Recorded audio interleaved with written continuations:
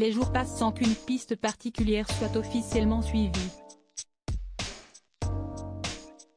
L'affaire Émile retient en haleine la France entière, déconcertée par les circonstances de la disparition du garçonnet de deux ans et demi. Sa discrète famille est depuis scrutée. Si est une famille désormais scrutée de toutes parts, celle d'Émile, petit garçon de deux ans et demi disparu le samedi 8 juillet 2023 dans le Haut-Vernay, hameau dans les Alpes de Haute-Provence. Un enfant sous la surveillance de ses grands-parents et qui s'est volatilisé, après avoir été aperçu par des voisins peu inquiets car habitués à voir les enfants gambader, mais qui culpabilisent désormais. Paris Match a livré son enquête sur l'affaire qui défraye la chronique depuis des jours et apporte des précisions sur les membres du clan du garçonnet. Qui sont-ils? Émile est le fils de Marie, mère au foyer qui forme avec Colomban, un ingénieur travaillant à Aubonne et formé à Centrale Lyon, un jeune couple d'une vingtaine d'années qui a également une enfant plus jeune, Alaïs, un an. Un prénom féminin qui signifie de noble lignée en langue germanique et qui est également la forme provençale d'Adélaïde, nom que portaient souvent les princesses d'Europe continentale. Les parents et leurs deux enfants habitent dans une maison modeste sur deux étages, en chantier. Colomban est ingénieur, il est passé par Central Lyon. Sous l'escalier de la maison, un tas de gravats, un étendoir, une poubelle noire et dans un coin, le tricycle d'Émile, indique Paris Match. Le jeune papa était en plein travaux quand l'alerte a été donnée. Un clan soudé et pieux autour d'eux, un clan soudé et pieux, celui de la famille de la maman Marie.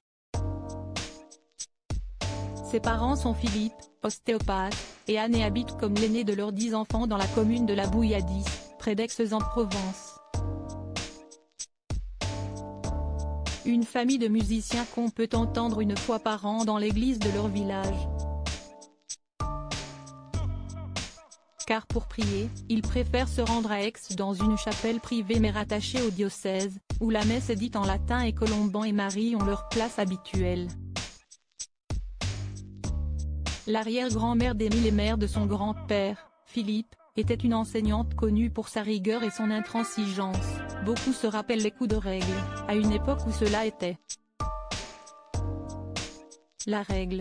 Une famille discrète, dont on sait d'après Paris Match que Philippe était aussi strict et n'hésitait pas à donner la fessée à ses enfants, reprochant à son gendre, Colomban, de ne pas être assez sévère avec les siens. Une famille aimante et unie pour le curé de la chapelle d'Aix, et pas sectaire selon lui, même si les enfants ne sont pas scolarisés avant le lycée.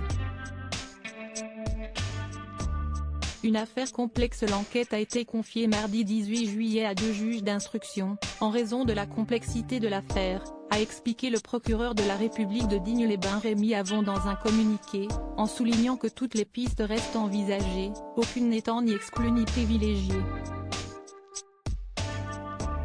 Au total, 1400 signalements téléphoniques ont été enregistrés sur la ligne dédiée mise en place suite au lancement d'un appel à témoins. Numéro aujourd'hui fermé, a précisé le procureur, indiquant que tout élément utile à l'enquête peut désormais être transmis à l'adresse électronique disparitionné 1004 gendarmerie. Intérieur.gouv.fr Parmi les éléments collectés par les enquêteurs et qui doivent maintenant être analysés figure notamment la téléphonie.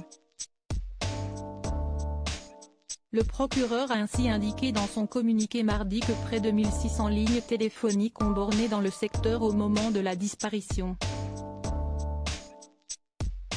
En raison de la topographie montagneuse du territoire de la disparition, ce périmètre exact est difficile à délimiter, les communications pouvant borner sur différents relais. Retrouvez l'intégralité du dossier dans Paris Match, en kiosque depuis le 19 juillet 2023.